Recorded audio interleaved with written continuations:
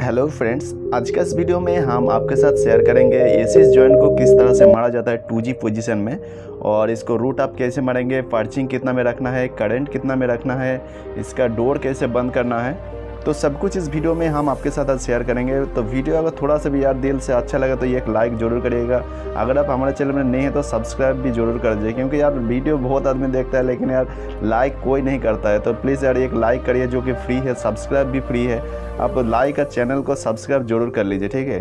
तो फ्रेंड्स यहाँ अगर आप देखेंगे तो टू जी पोजिशन में एस का ज्वाइंट मारने के लिए मिला है, ठीक है? जो कि मेरा फ्रेंड्स था और हम था, दोनों मिल करके ही मारा है। क्योंकि मैं थोड़ा वीडियो बना रहा था तो मेरा फ्रेंड्स जो है उसको रूट मार रहा था, ठीक है? तो देखिए, यहाँ पर ऊपर से इसको पर्चिंग को डाला गया, ठीक है? ऊपर से पर्चिंग वहाँ पे होस पाइप डाला था और यहाँ आप देखिए, अभी टू जी पोजिशन में रूट अभी चालू हो गया है।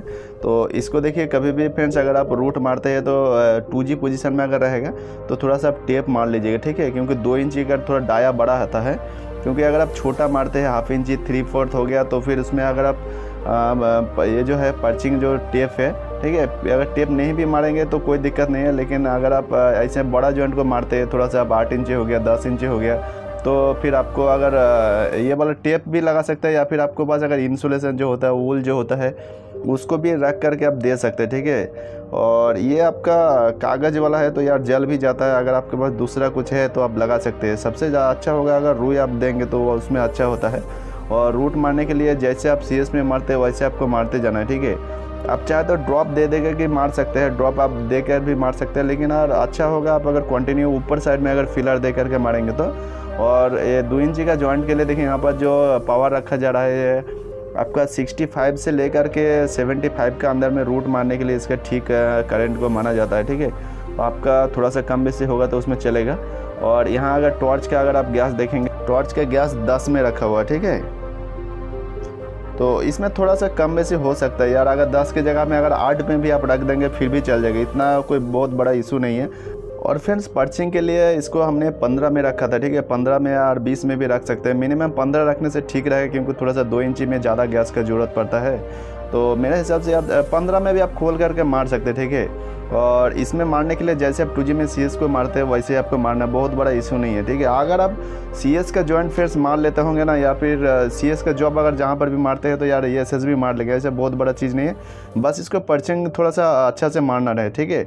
और एक चीज़ सबसे बड़ा जो यहाँ पर दिक्कत आने वाला है, ये जो आपका डोर है ना फ्रेंड्स, ये छोटा वाला जब पूरा ज्वाइंट हो जाएगा जब आपका थोड़ा सा बाकी रहेगा ना, उसको मारने के लिए दिक्कत होता है। तो जब आप उतना डोर बाकी रहेगा तो आपको ये काम करना है पर्चिंग को आप अगर पंद्रह में मार रहे तो तो आपको पर्चिंग को सात में कर देना, ठीक है? सीधा डायरेक्ट आधा में कर दीजिए, ठीक है?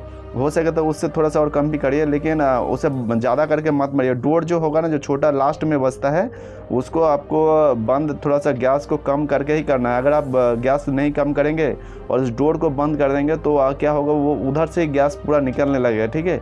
तो फिर अंदर का आपको मेल्टिंग नहीं होगा, इस चीज़ को हमेशा याद रखना है, ठीक है?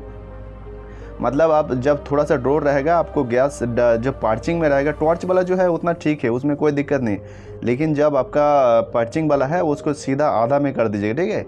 नहीं तो थोड़ा दिक्कत हो सकता है, वहाँ पर डोर अगर अच्छा से बंद नहीं होगा तो वो बाहर तरफ़ में मेटल को फेंक देगा, वो अंदर एज भी, फ्यूज भी अच्छा से नहीं होगा, और आपका पेंटिशन भी नहीं जाएगा। फिर जॉइंट या रिएक्शन में भी फेल हो जाएगा तो बहुत दिक्कत हो जाएगा, ठीक है? इसीलिए थोड़ा सा जब आप डोर बंद करेंगे, पर्चिंग को कम कर दीजिएगा, ठीक है? और नहीं तो अगर छोटा पीस में मारते हैं तो आप अगर पूरा अगर पाँच में भी कर देंगे, फिर भी चलेगा।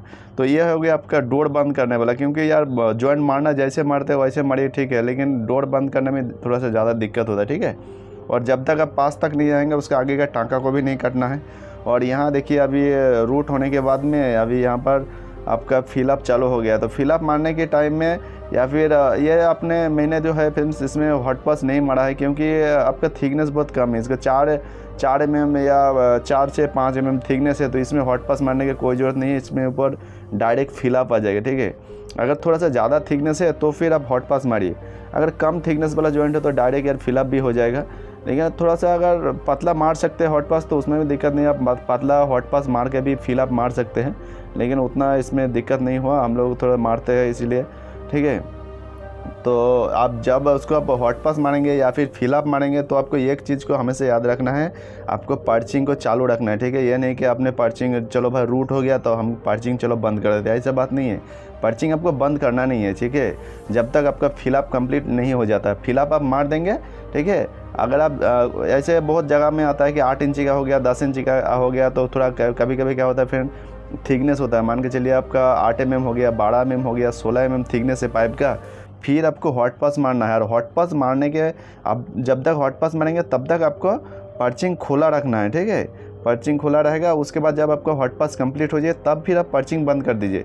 उसमें कोई आपका, जब आप उसके ऊपर में फिलअप करेंगे या फिर अगर आर्क्स में भी अगर मारेंगे लेकिन कभी कभी होता है कि इसमें आर्क भी दिया रहता है, इस, इसका रॉड से आर्क मारना पड़ता है, तब आप उसको बंद कर दीजिए, कोई दिक्कत नहीं है।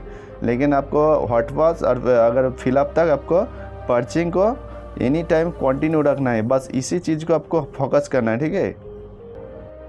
तो फाइनली फ्रेंड्स यहाँ पर हो गया अभी फिलअप और फाइनल का हम नहीं दिखा पाए क्योंकि फाइनल हम खुद मार रहे थे। तो आपको देखिए इस टाइप के यहाँ पर आप देख सकते हैं फाइनल हो गया है कंप्लीट इसको टू जी पोजिशन में कभी भी एक चीज़ आपको याद रखना मल्टी राउंड में आपको फाइनल मारिए ठीक है? एक राउंड में उतना अच्छा नहीं दिखेगा। फाइनल जो है अगर दो इंची का है तो दो राउंड मार दीजिए। और उससे थोड़ा ज़्यादा थिकनेस आपको दिख रहा तो फिर तीन लेयर में फा, इसको फाइनल मारिए मल्टी राउंड में ठीक है? तो वेल्डिंग आपका जॉब के हिसाब से मारना ये नहीं कि हम बता रहे आपको देख लीजिए कितना थिकनेस है कितना चौड़ाई है कितना एम वेल्डिंग आएगा थोड़ा सा देख करके आपको सोच समझ के मारना है। क्योंकि अगर आप जॉइंट मार के वहाँ से हट जाएँगे फिर कोई क्यूसी वाला आएगा फिर उसको बोलेगा यार यार कैसे मारा है अच्छा नहीं हुआ फिर यार दिक्कत होता है। ठीक है? तो फ्रेंड्स ये आज का छोटा सा इन्फॉर्मेशन वीडियो कैसा लगा कमेंट करके ज़रूर बताइए। और आप कहाँ से इस वीडियो को देख रहे हैं और आप कौन सा वेल्डर बनना चाहते हैं, ये भी कमेंट करके ज़रूर बताइए। तब तक के लिए टेक केयर गुड बाय फिर मिलते हैं नेक्स्ट वीडियो में।